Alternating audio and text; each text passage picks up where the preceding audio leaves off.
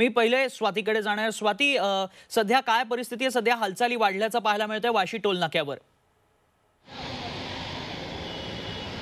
नक्कीच तन्मय थोड्याच वेळात तिथे खासदार इम्तियाज जलाल हे इथे इथून जाणार आहेत. त्यामुळे टोल नाक्यावरची जी बंदोबस्त आहे तो पूर्ण वाढवण्यात आलेला आहे. त्यांनी आता नुकतंच पनवेलमधून ते निघालेले आहेत असं कळतं आहे आणि त्यामुळे वाशी टोल नाक्यावर आपण बघू शकता खूप मोठ्या प्रमाणावरती पोलीस बंदोबस्त आहे. आणि जे कार्यकर्ते पुढे येत आहेत त्या सर्व कार्यकर्त्यांच्या गाड्या आपण बघताय रोखून धरलेल्या आहेत.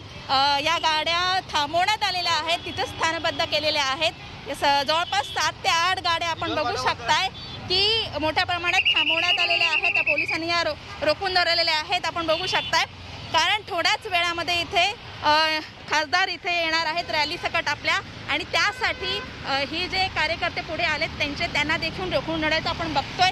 पोलीस या सर्व गाड्यांना बाजूला करत आहेत. टोल नाक्याच्या पुढे हा बंदोबस्त सुरू आहे आणि पोलीस या कार्यकर्त्यांना अडवून त्यांची नोंद घेत आहेत त्यांची नावं विचारपूस करत आहेत. याच्या प्रकारे या गाड्यांना पुढे द- जाऊ दिले जात नाही. मुंबईच्या वेशीवरच यांना अडवण्यात येत आहे. तन्मय.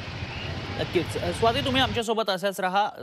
जाऊयात. ठाण्यामध्ये कपिल राऊत आमचे प्रतिनिधी आपल्यासोबत आहेत. कपिल तिकडे काय परिस्थिती आहे? कार्यकर्त्यांना अडवण्यात येत आहे? नक्कीच. आता जे कारवाई झालेली आहे अमरावतीहून अमरावतीहून आलेले काही कार्यकर्ते त्यांना अडवण्यात आलेले आहेत. तुम्ही बघू शकता हा मोठा फौजफाटा आहे. पोलिसांचा हा सकाळपासून इथे फौजफाटा आहे बॅरिकेड लावलेले आहेत आणि जी संशयित गाडी आहे किंवा जिथे एमआयएमचे कार्यकर्ते ज्या गाडीत असू शकतात अशा गाड्यांना इथे अडवण्यात येत- येत आहे. असे अमरावतीहून आलेला कमीत कमी दहा ते बारा गाड्यांना इथे अडवण्यात आलेला आहे आणि जवळजवळ पंचवीस तीस कार्यकर्त्यांना अमरावतीवरून जे एमआयएमच्या रॅलीमध्ये सामील होण्यासाठी आले होते त्यांना एका ठिकाणी अडवून अडवून ठेवण्यात आलेलं आहे. एकंदरीतच हे सर्व एमआयएमसाठी एमआयएमच्या रॅलीसाठी सामील सामील होण्यासाठी जात होते. अशा अशा अशाच गाड्यांमध्ये असे स्थानिक लोकही आहेत जे काही खासगी कामासाठी जात होते आणि त्यांनाही तिथे अडवण्यात आलेलं आहे. तुम्ही बघू सकाळपासूनच हा जो अं, चेक नाका आहे तिथे अशा प्रकारे पोलीस बंदोबस्त आहे बॅरिकेड लावण्यात आलेले आहेत आणि गाड्यांची चेकिंग केली जात आहे. खरं तर संध्याकाळची वेळ आहे. संध्याकाळच्या वेळेला जोर पकडलेला आहे. कारण की काही उडती उडती अशी बातम्या येतात. का काही एमएमचे कार्यकर्ते पोहोचलेले आहेत. त्यामुळे आता भरपूर प्रेशर आहे पोलिसांवरती. आणि त्यामुळे आता गाड्याही वाहनही चेक करण्यास सुरुवात केलेली आहे पोलिसांनी. आणि त्याच्यामध्ये पंचवीसशे तीस कार्यकर्ते सापडलेले आहेत आणि त्यांना एका ठिकाणी ठेवण्यात आलेलं आहे. नक्कीच कपिल आणि स्वाती आपण वेळोवेळी जी माहिती दिली त्याबद्दल आपले धन्यवाद. आणि वेळोवेळी तुमच्याकडनं या संदर्भातल्या अपडेट्सही जाणून घेत राहू. आई भवानीचा गजर. म्हणजे?